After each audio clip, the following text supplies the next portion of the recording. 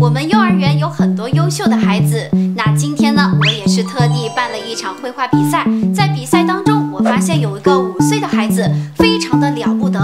在我们的老师和他的大哥哥、大姐姐面前，很流畅的画出了一幅画，而且他还能讲出自己画面的想法和内容。我和家长都觉得非常的惊讶，因为这个孩